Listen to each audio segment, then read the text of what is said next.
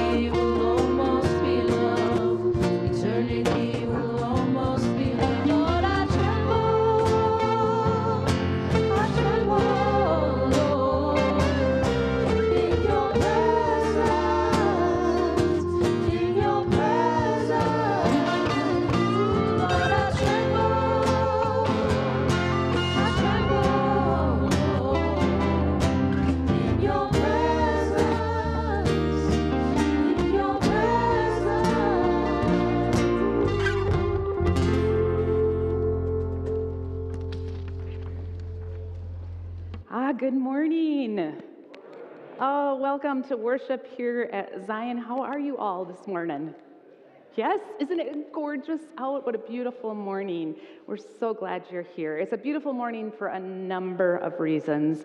One, always our music. Thank you for sharing your gifts. Oh, absolutely. And in just a while, the children's choir is going to join our worship team. It's wonderful. So thank you. And the other reason is we get to share baptism with two little ones this morning, which is always such a joy. And we welcome, hi, you're already talking with us. That's good. Uh, we welcome those of you who are here, especially for that, as we take part in this holy sacrament.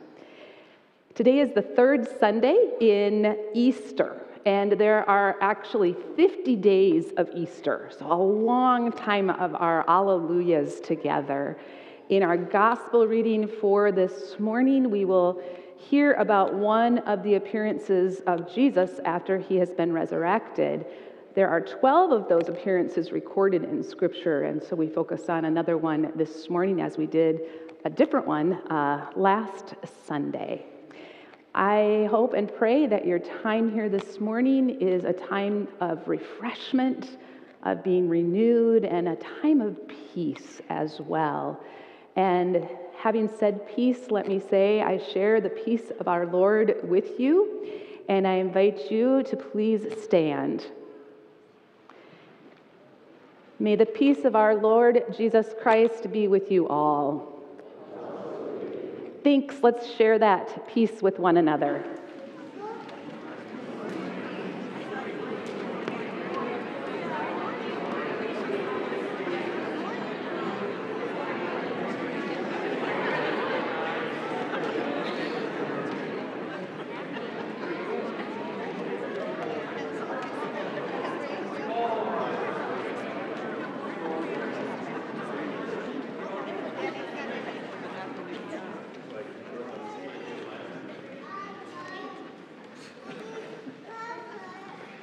The Lord hears us when we call. Come, let us put our trust in God. The Lord fills our hearts with gladness.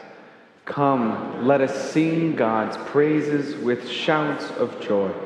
The Lord grants peace to our weary souls. Come, let us rest by the quiet waters of God's grace. God invites us to the quiet waters of grace and offers forgiveness as we repent. To repent is to turn away from sin and turn towards Christ Jesus. Scripture promises that when we confess our sinfulness, God hears our cry and wipes away our sin. Trusting in God's promise of new life, let us confess our sins.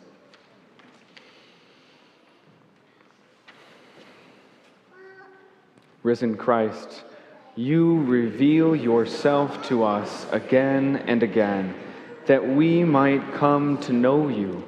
Forgive us when our fear keeps us stuck, when our misconceptions prevent us from loving all creation as you call us to do.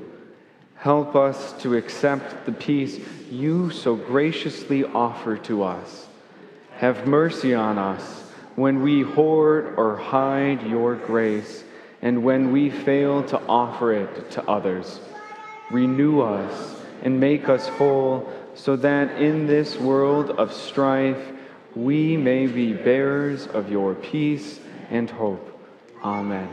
See what love the Father has given us, that we should be called children of God, and that is what we are. We are beloved children of God. We are claimed by God, forgiven of our sins, and set free for love, grace, and hope.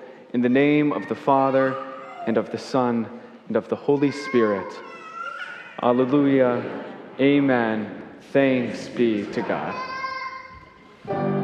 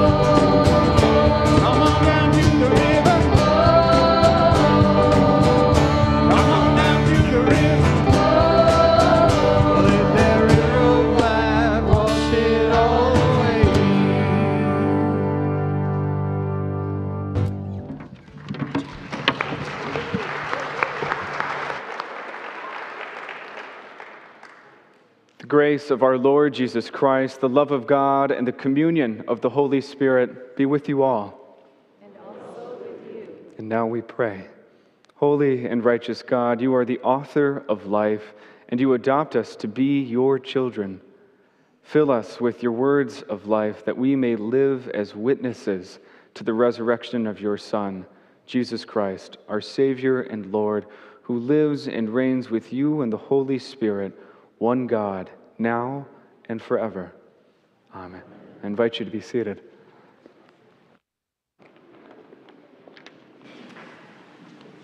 And I'll invite the children to please join me up front here. If you'll come on up and sit on the carpet here. Good morning. Good morning. Have you sit right there. Good job.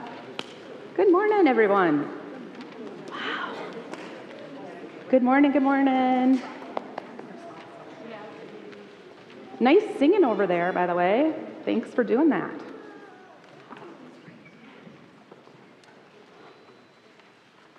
So you probably heard me at the very beginning, and I said that Easter lasts for 50 days, five zero days. That's a long, long time. That's over a month of us being able to celebrate Easter. You might think it's over, but it's not over yet. We get a long time to celebrate that Jesus is risen and he's alive and he's with us.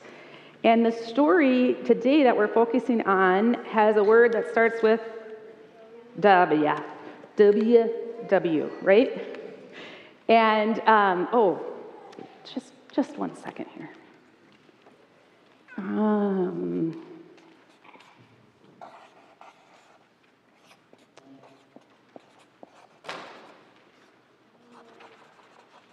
oh, good. Needed to get that done, right? Okay. Um, so you see this? Yeah. Um, who wrote that? How do you know? How do you know that it was me who wrote this? I'm not there. That's right. Yeah. You just saw me, right? You just.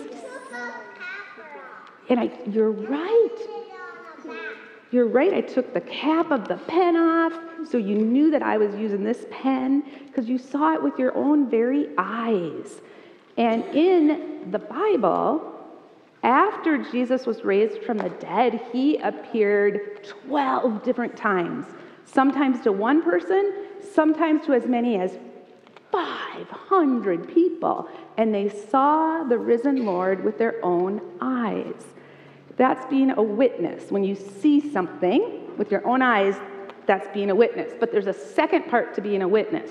You can't just see it and then never say anything about it ever again. A witness sees something with their own eyes and then they tell other people. So the people who saw Jesus alive, they witnessed that, and then what did they do? They told some other people, and then they told some other people, and more people, and more people, and then some of the people who heard about the witness wrote it down. And that's how we get the Bible. in the part of what we call the Gospels that tell the story of those people who witnessed what Jesus did. And so that's why we have that, because they saw it and they told about it.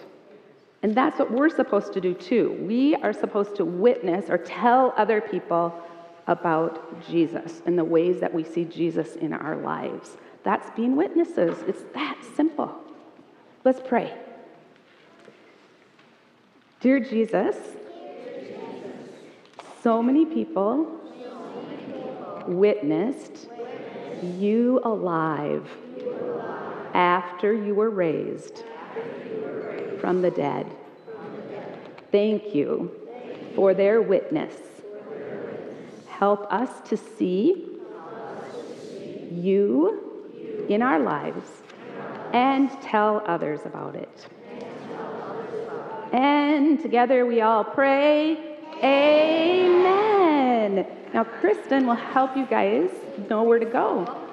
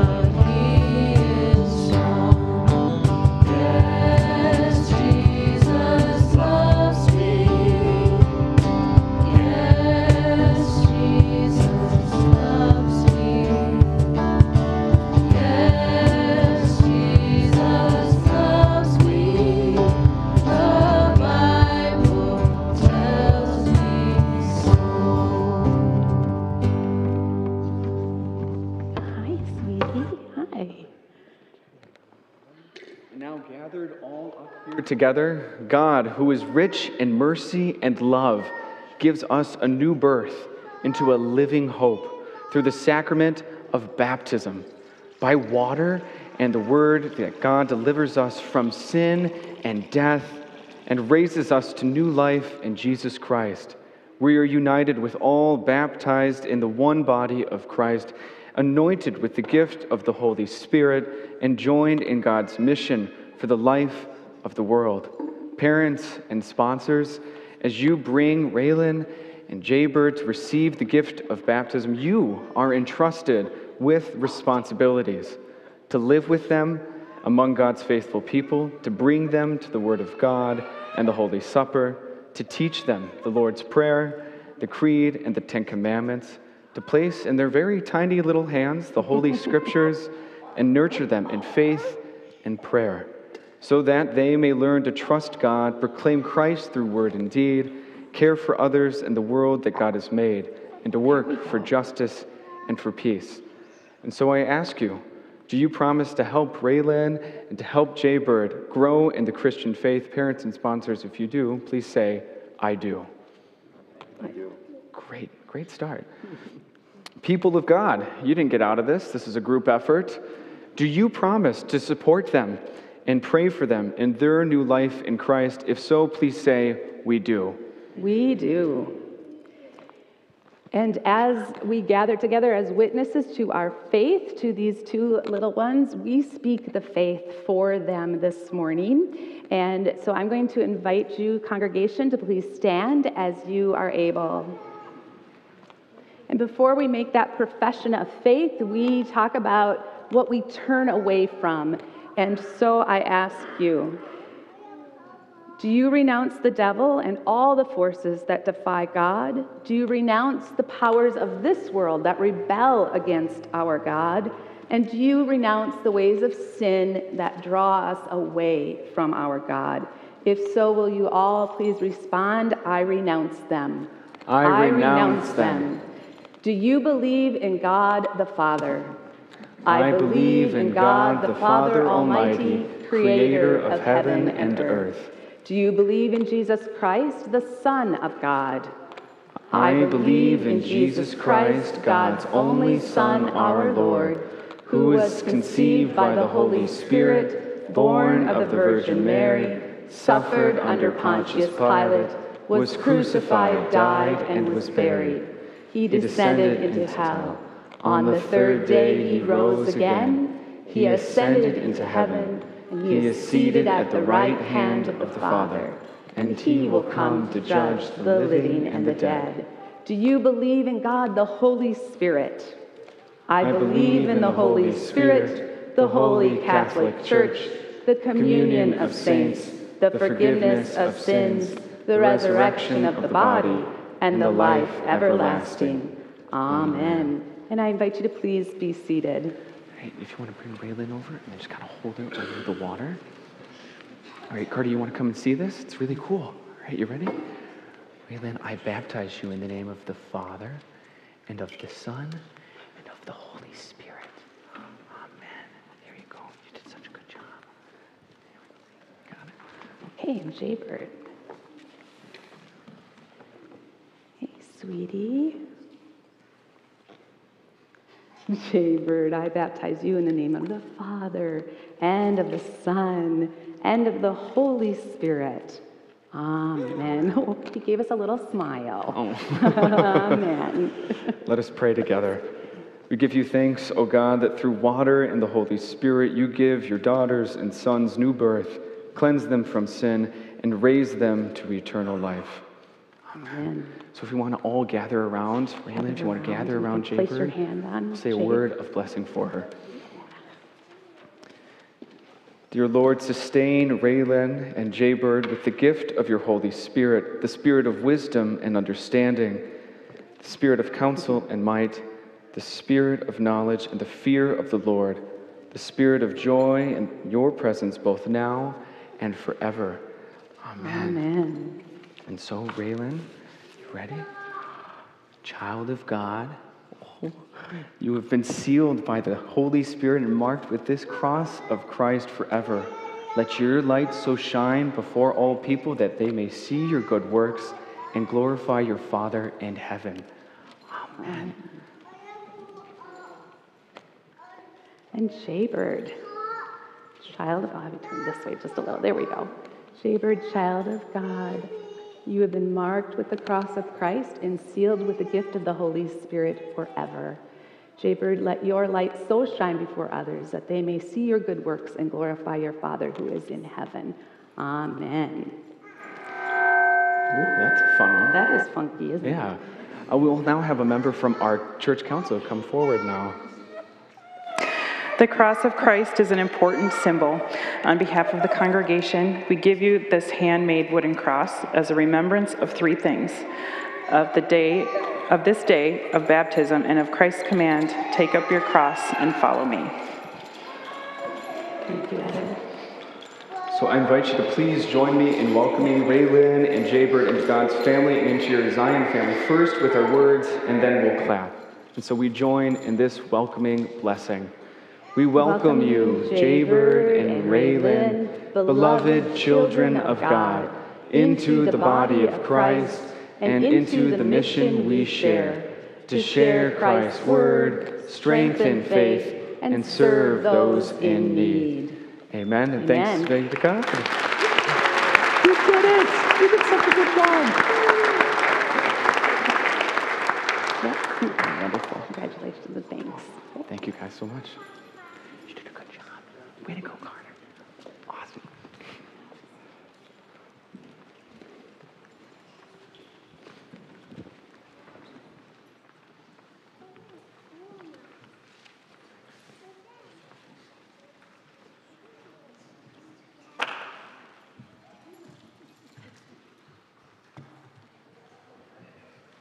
The first reading is a reading from Acts.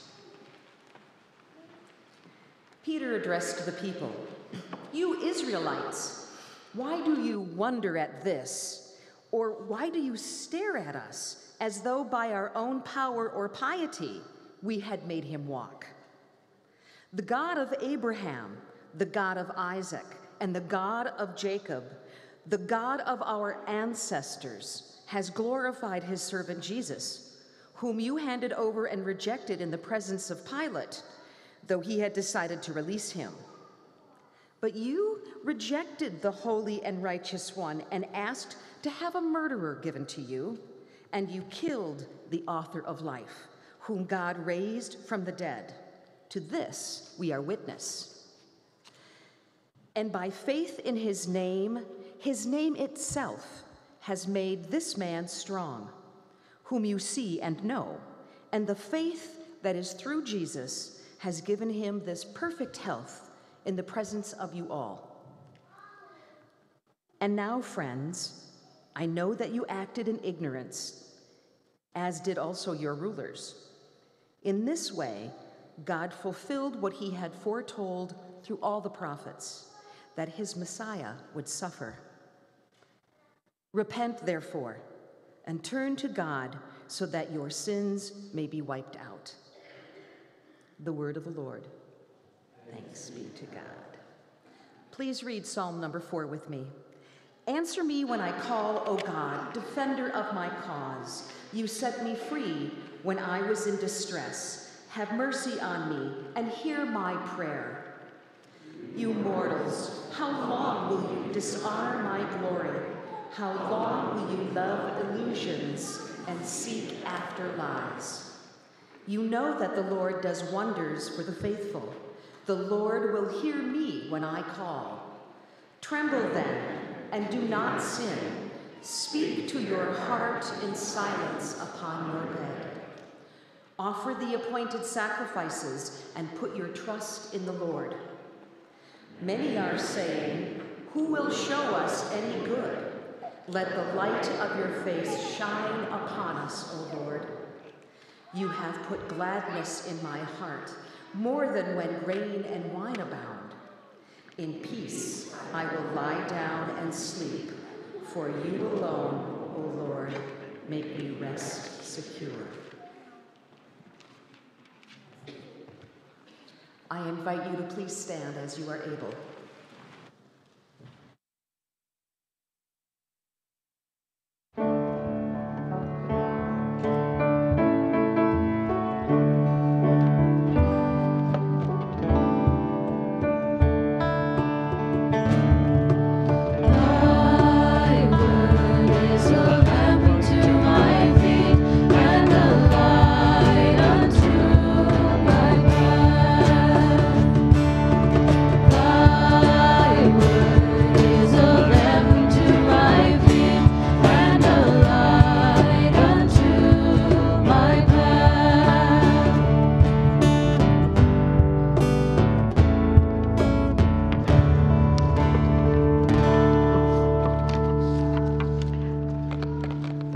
Gospel according to Luke.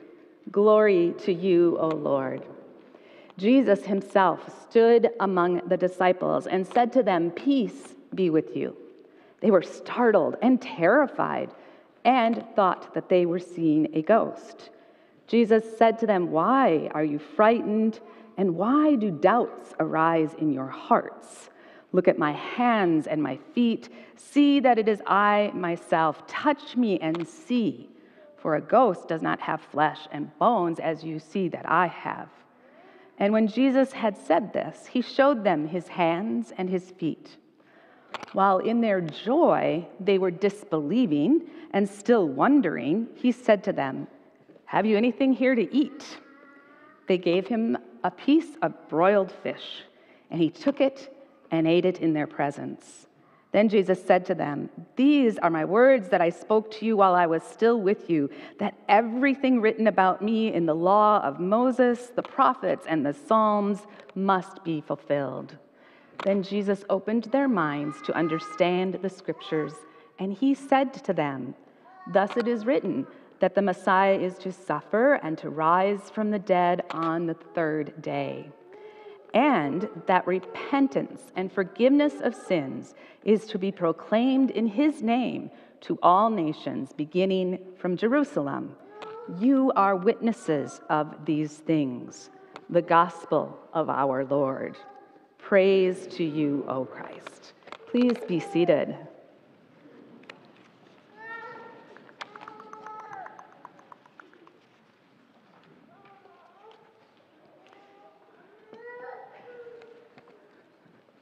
This might sound familiar to those of you, especially if you have college kids coming home or kids who have been in the service coming home or you know, just when your middle schoolers come home after a day at school or hopefully a Wednesday night here, they walk in, and often one of the first phrases out of their mouths is, Is there anything to eat? Right? Yeah. Is there anything to eat? And that's what Jesus says to these disciples. Do you have anything here to eat? And the answer to that is a tangible, touchable, seeable way for us to see Jesus enter into these disciples' lives as he enters into our lives as well. And did you notice that sentence in the gospel where it says that they have joy, but within their joy, they're disbelieving? So they have both this, this emotion of great joy and also this emotion of absolute disbelief. And Jesus says, So what do you have to eat? And they give him broiled fish and they share this meal together. Sharing a meal together is prominent in scriptures through the Old Testament, in through the New Testament as well. It's why communion is such an important, important part of our faith journey because that's sharing a meal together. But before they share that meal together, Jesus does a couple other things. First of all, he says to them, Peace be with you. He knows of their fear and their disbelief. Now, if that sounds really familiar to you, that means you were here last week. Because last week we also read one of the 12 accounts that are recorded of Jesus appearing after he has been risen from the dead. And in the same way, he said, Peace be with you. As I told the kids, Jesus appeared to people in groups, sometimes just one person, but mostly in groups and all the way up to 500 people. So, first, he waylays their fears and says, Peace be with you. And then he tangibly says, Look at my hands, look at my feet. See, it's me. And then he eats, which is another tangible way of saying, See, it's me, flesh blood and bones. I am here before you. I am the risen Lord. All of that is true, but there's another piece in this appearance story that is so beautiful. And I wonder how often we think of it. And that's this. After he, you know, settles down their fears and after he gives them tangible evidence that it's really him, the other thing that he does in that room as he appears to them, well, think of it this way. Jesus could have walked into that room after being risen from the dead, and as he sees his disciples, his friends who were supposed to be with him throughout everything, he could have said to them, Where were you? He could have said, You abandoned me, you denied who I was, you denied ever knowing me, and you were my friend. Where were you? And he could have recounted every last thing that they had done, every last brokenness within them as witnesses and as disciples of our Lord. But Jesus does not do that. Instead, there's this beautiful, beautiful telling of forgiveness. He doesn't recount all those things, he just says, Peace be with you, and he is with them. C.S. Lewis has a famous saying about forgiveness. He says that we all love the idea of forgiveness, all of us, until, until we have someone we know we need to forgive. Then we are not so much fans of it because it's hard sometimes to forgive. We know we're supposed to do it. We know that as people who follow Jesus, we are to bring forgiveness into this world. We pray about it. Forgive us our trespasses as we forgive those who trespass against us. But just like any other prayer, when we pray that prayer about forgiveness, we have to put feet to our prayer. We have to put feet to our prayer. And what that means is we have to go and do it. We've asked for help in doing it when we pray that prayer. But then we have to go out and actually do the forgiving. Jan Richardson is a poet and I would argue a theologian. Um, she writes about faith. She has a beautiful, short, tiny little three, three lines, I think it is, poem about this uh, story in which she says, uh, embodied in, in blood and flesh among those disciples is both joy and being absolute terrified. Both things were there. Another poem that she writes is about forgiveness. And I think she has the best way of describing forgiveness. So, this is Jan Richardson. If you haven't read her work, I encourage you to Google her and just read a couple of her poems uh, because they're so real about faith. And so she calls forgiveness, or having to forgive someone and being forgiveness, the hardest blessing. The hardest blessing. And that is so true. It's difficult for us to do, and yet when we forgive, we are blessed. Our heart is released from anger, our heart is released from holding on to our hurt.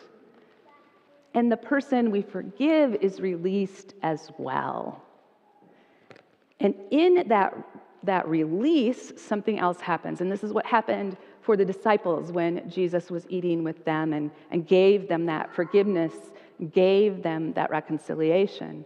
The other thing that happens when we forgive is we transform that relationship and we give a new purpose.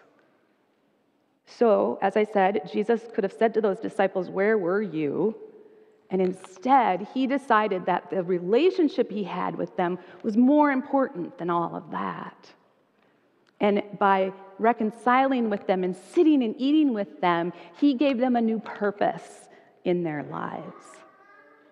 And that happens for us too when we forgive. So, this story, and in fact, I would argue all of the appearance stories of Jesus after he has been raised, excuse me, are stories of tangible, like you can just see, you can see the forgiveness happening as they're sitting there and eating together. That's what happens when we have communion. When we have communion, it is a tangible, touchable, seeable, tasteable evidence of reconciliation and forgiveness. It's why we say, Peace be with you, before we have communion. Is a way of saying reconciliation is important, people and relationships are important. Richard Rohr is a, also a theologian, and this is what he says about forgiveness. He says, Every time every time that God forgives us, it is evidence that God puts relationships above even God's rules. Every time God forgives us, it is evidence that God puts relationship above even God's rules. And that's what Jesus was doing there that day. That's what Jesus does every day for us. You've heard me say it before here at Zion, and we practice this at Zion. We're not perfect at it, but we practice it. We say re- relationship, people before things, always. It seems that that is what God says to you and me when He reconciles, when He forgives us. Relationship is of the highest order. Now, when I talk about forgiveness and reconciliation, it's always important to say uh, that the church, over the years and over and through its history, uh, has not always done a wonderful job of teaching about forgiveness in real life. Uh, for example, pastors and priests over time have said to victims of abuse, Forgive, forget, and stay. We should never have taught that. And that is a teaching that the church repents from. Because before there can be that forgiveness, there has to be safety and security. And even then, that forgiveness comes after a lot of work. And so it's important to say that when we talk about forgiveness. So, this forgiveness, as the most difficult blessing, is one that permeates our lives and our relationships with one another. I think when I first came to Zion uh, as your interim, I said to you, um, we're in relationship together. We're gonna we're gonna do God's mission together, and it's gonna be messy as all get out. I am going to make mistakes. I'm a broken person. I'm going to disappoint you, and vice versa, because that's what happens in true, authentic relationships. Sometimes in our brokenness, we hurt one another. And in forgiveness, we release that hurt.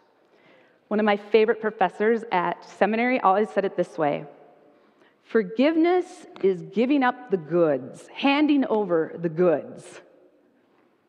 And what he meant by that is when you forgive someone, you're handing over the goods. You're handing over your right to go fishing for that sin again or that hurt again. You're giving up the goods. You are giving up your right to kind of hold that over someone. And the really amazing thing about forgiveness is this we have no chance in doing it, no chance in doing it, except that Jesus has already given up the goods to you, to me. He's already done that to show us how to go about doing that. So I hope maybe as we think about this story of Jesus coming and eating that broiled fish and being with those disciples, whom he could have said, Hey, you guys failed miserably. Instead, he said, Come, let's eat together. I hope it gives you a little bit of a chance to think about forgiveness. And I want to close today with this poem by Jan Richardson, and it's called The Hardest Blessing. And guess what? It's about forgiveness. so here goes. If if we cannot lay aside the wound, then let us say it will not always bind us. Let us say that the damage will not eternally determine our path. Let us say the line of our life will not always travel along the places where someone else has trespassed, trespassed against us. Let us say that the line of our life will not always travel along the places where we are torn and hurt. Let us say that forgiveness can take some practice, can take some patience, can take a long, struggling time. Let us say that to offer the hardest of blessings, we will need the deepest of grace. Let us say that the wound we feel will not be our final home. Instead, let us find that through the wound there runs a road. Now, it's not the road we may have chosen, but on the way, may we finally see that in forgiveness, once it is practiced, it comes also toward us and then it shines with a joy that is well deserved for our living. And she writes this in her book called The Cure for Sorrow. And so she argues that one cure for our sorrow, our brokenness, and our hurt is that path of forgiveness and into forgiveness. So may you be empowered by the resurrected Christ to embody this transformative power of forgiveness. Because this is the cure. This is the cure for our brokenness, for our hurts, for our broken world, is to offer forgiveness over and over again for ourselves and for others, so that this world may indeed reflect the abundance of life that Jesus came for. Amen, and thanks be to God.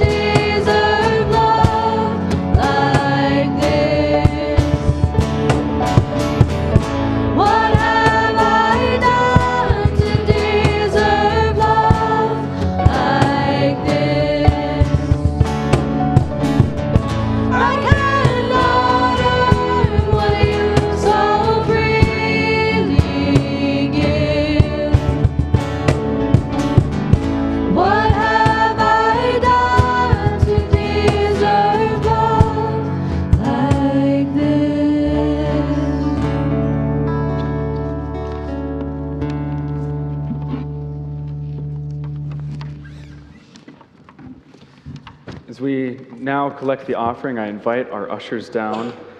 We are joined in this effort of offering grace and reconciliation to the whole world. And so, thank you for the gifts of this offering of your time, your talents, and your tithe, as we do indeed join together as one collective effort to really make this world as reconciled as it can be.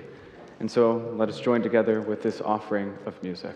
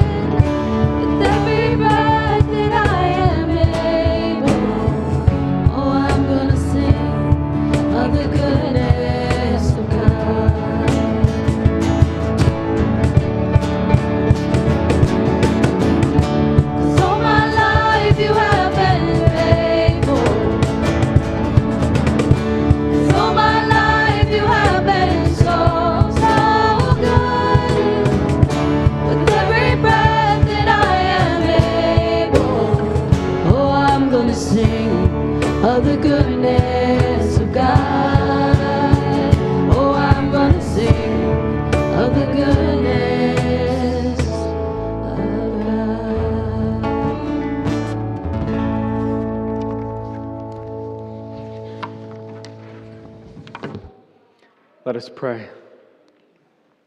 Risen One, you call us to believe and bear fruit. May the gifts that we offer here be signs of your abiding love. Form us to be your witnesses in the world. Through Jesus Christ, our true vine. Amen. Rejoicing that Jesus is risen and love has triumphed over fear, let us pray for the church, the world, and those in need of good news. Resurrected Christ, as we are called to witness to your story of grace and redemption, make us alive to all of the needs of the world. Inspire us to bear witness to you that through the Holy Spirit we would be a church that loves one another and loves you in ways both seen and unseen. God of grace, hear our prayer.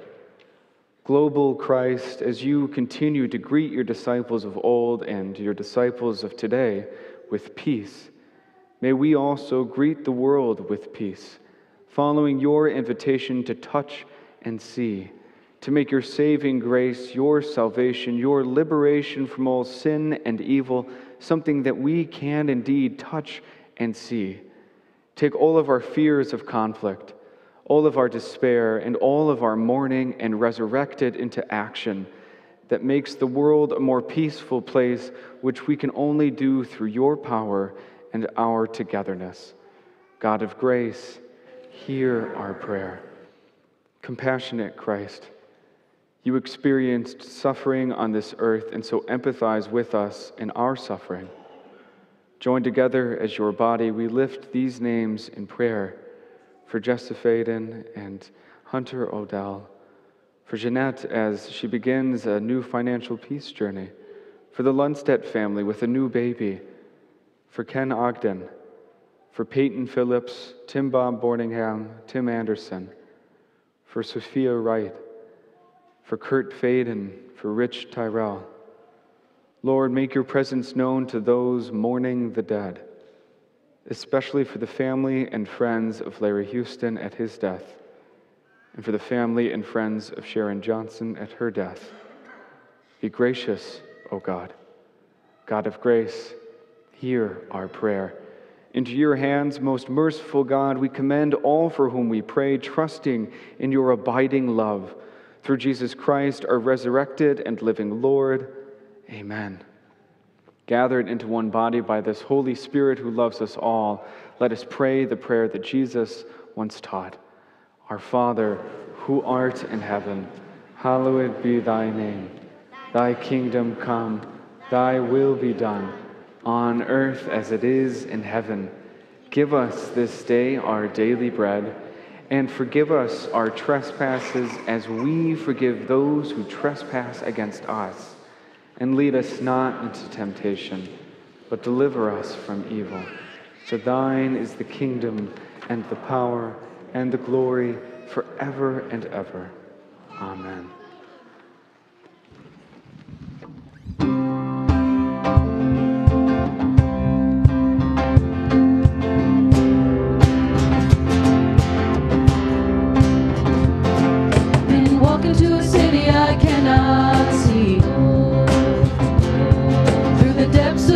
Of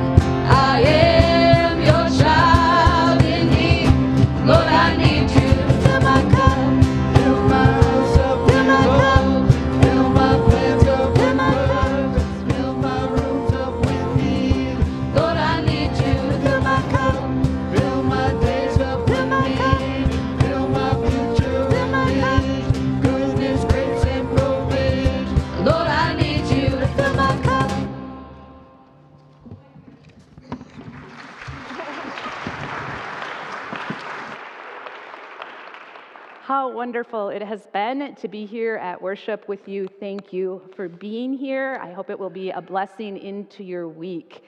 Guess what? One announcement today. That does not happen very often. We have Serve Weekend coming up April 26th through the 28th. It's last part of that whole week. And uh, this is a way of us collectively saying, come and be connected here and connected to the mission of serving. Do you know that it takes 24 people on a Sunday morning to volunteer? And that's on a non communion Sunday morning, 24 people to make this happen. Uh, so we are encouraging you to use the QR code. You're going to get one passed out, or maybe you got it on your way in. Uh, and then there is the QR code is also at the info desk. So please look at that, see where you might dive in and serve together. And having said that, I'll invite you to stand.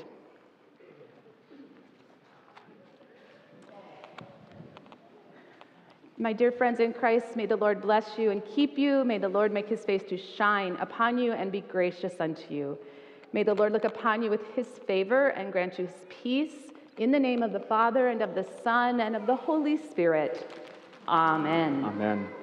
And joined together with all we are and all we do, we will trust in Christ, live for Christ, and serve with Christ Jesus our Lord. Amen. Oh, and hallelujah. Go in peace. Rejoice and be glad. Thanks, be to God. Hallelujah. Look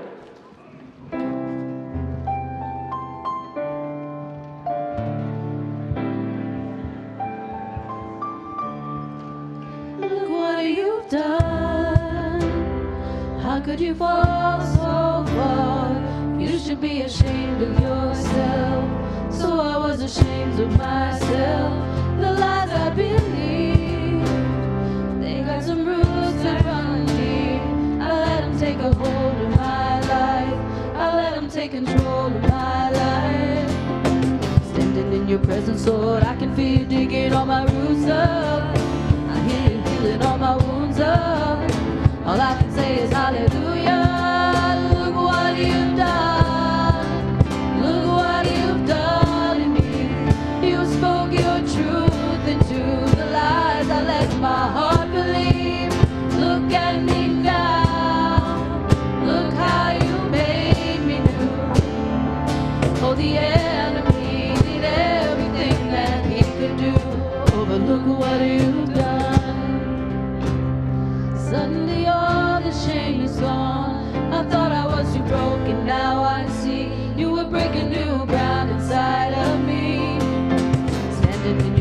Lord, I can feel you taking all my